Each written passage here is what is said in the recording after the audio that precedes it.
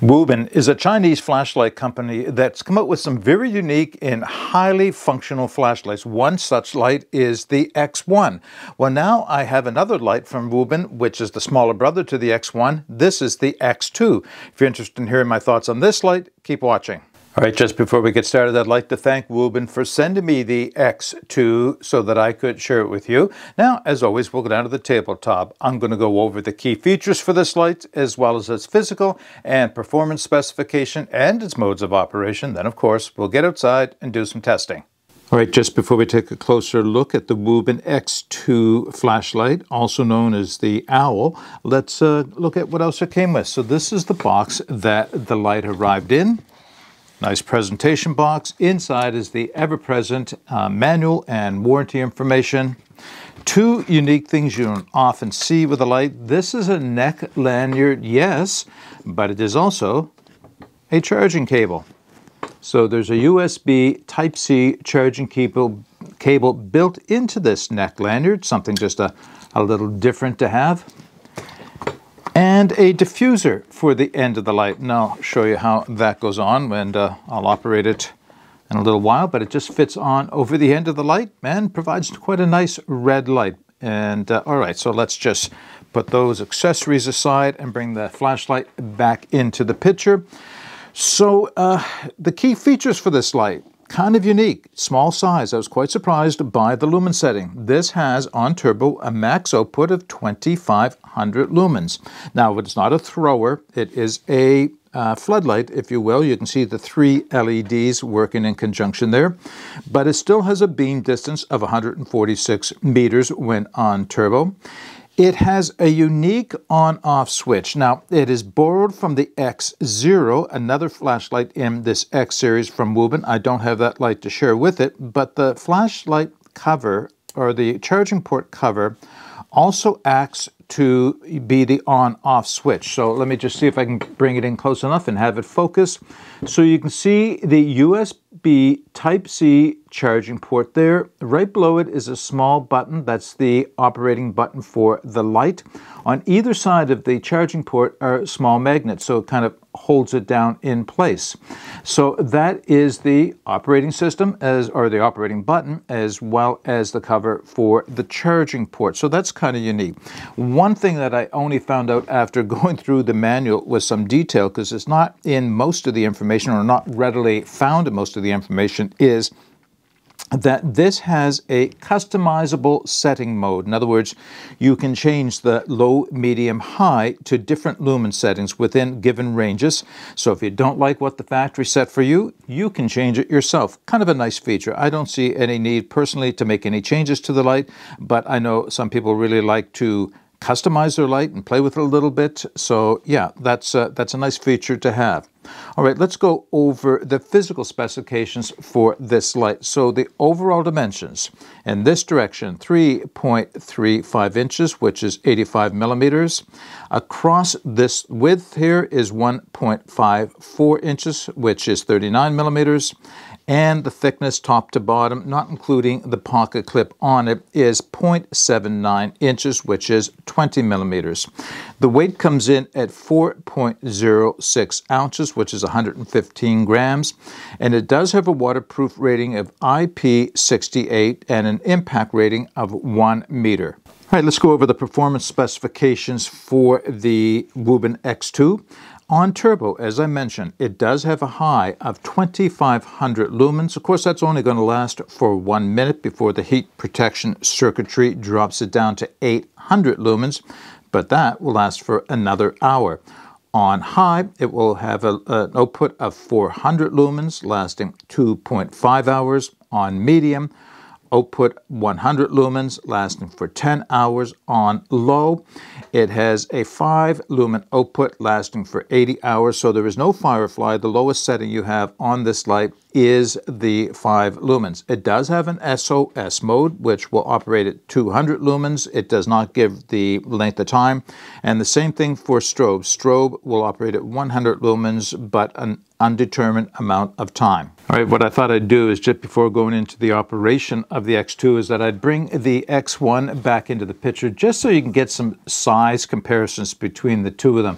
This is a big, heavy light. Now it's got a real maximum performance as we looked at in the other video, but again, I just wanted to give you a bit of a size. They called this an EDC light, and of course, it's not. It, you can't carry, well, maybe you could carry that in a holster, and there is one provided with this larger light, but I wouldn't call it an EDC light at all. However, this one I certainly would call an EDC light. In fact, uh, Wuben refers to it as an easy carry light, so a little different way of framing it, but it is nice little light for carrying, sits nice in the pocket. That pocket clip is quite stiff, but still very functional. And of course, if you needed to, you can remove it, loosen it up a little bit, put it back on. Now, speaking of taking things on and off this light, this light is operated from two 2000 milliamp hour 14500 lithium ion batteries, but they are not removable.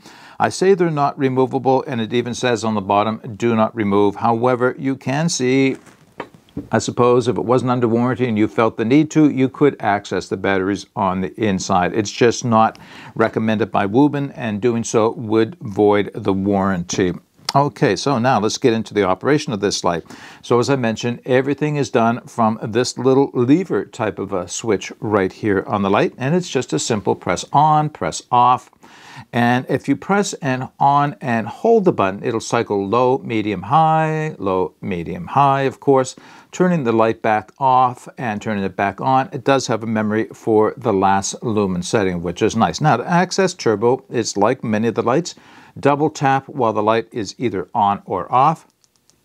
And you can see just how bright it is as the camera adjusts for the brightness. If you want to access strobe, you would triple tap while the light is on and off on or off, that is. And if you want to access the beacon, triple tap while it's in strobe. Or SOS, not beacon, sorry. All right, just before moving on, there is one more feature of this light that I want to share with you, and that is the electronic lockout. And I think that's a very good feature to have on this light because as you can see, it doesn't take a whole lot of pressure to turn the light on or off with the on-off switch right there. In fact, it's quite easy to do so. I found even having it in my pocket that you could bump it on or off. So if you are going to be carrying this in your pocket and there's any risk of the button getting pressed, it's a good idea to make use of the electronic lockout. And to do that, all you have to do is press quickly four times on the on-off switch. One, two, three, four. The light will flash a few times to tell you that it's locked. And now if I Press it, as you can see, nothing is happening. Now to turn the electronic lockout off, you just press again four times quickly. One, two, three, four. The light will come on at its lowest lumen setting.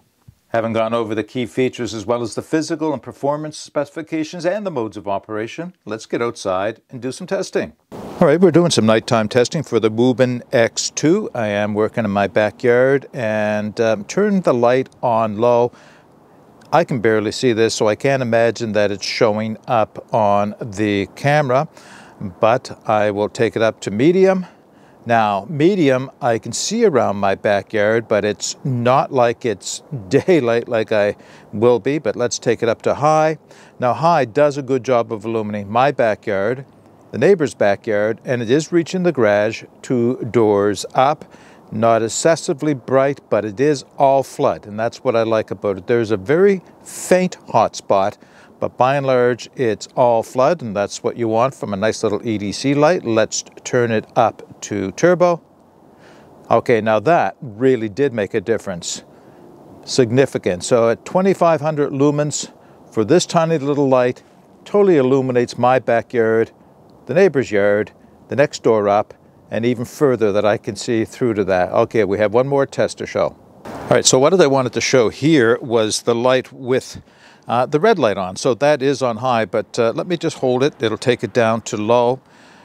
And you're not seeing a whole lot on the camera, and I'm not seeing a whole lot either, but I think in an enclosed area, this would provide me a significant amount of light. But if I take it up to medium, now you can see that's illuminating me, it's not that I can navigate with it, but it is providing me a significant amount of light. Again, I could use it for looking at a map, reading a book, finding what it is I'm looking for in my tent, taking it up to high. That's quite bright, but uh, a bit too bright maybe for reading or whatever you'd use a red light for most of the time. However, using it like this, that's another story. That's what I really like about this. That is a nice bright light that you could take with you walking through the neighborhood or anywhere that you feel you need to be seen.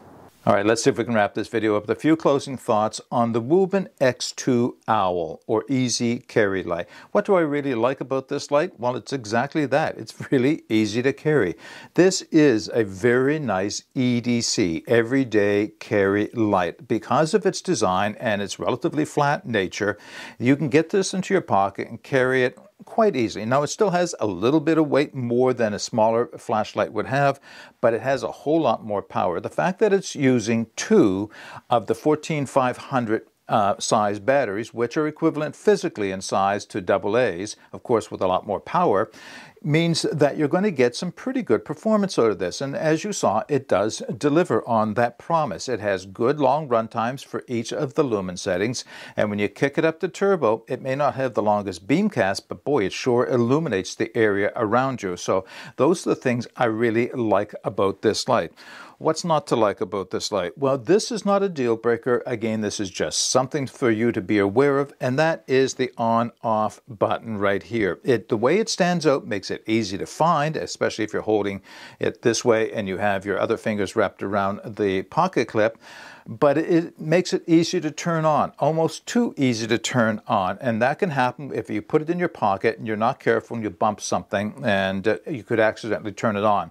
So again, I just mentioned that it does have that electronic lockout. So that is something to make use of when you're dropping this into your pocket. Now, one thing I have no reason to disbelieve is this has a, a waterproof and dustproof rating of IP68, which means it can be submerged under waters for two meters for one hour. Um, that's hard to believe when you look at this and you see that that port is, or this flap is what's covering the charging port, but that's what Wuben says, so I'll have to take them at their word. I did not drop it in a puddle for two hours to see if it would actually work. But uh, yeah, okay, so those are just my thoughts on this. Overall impression of this this is right now going to be sitting at my nightstand beside the bed. And when I go for walks around the neighborhood during the night, then I am going to be carrying this with me. You know, it's a nice feature to have that little red diffuser, silicone diffuser to go over the end of this. And I found that in the walks around my neighborhood, there's a couple of intersections which can be a little difficult to cross at night in terms of the traffic. So having that, and I can touch on the strobe and have the diffuser light on there, lets people know that I want to get across the street. So just another nice little feature for safety when you're out in the evening. Okay, I will be providing all the information I have for this light in terms of its performance and physical specifications and the links to where you can purchase it all in the video description below.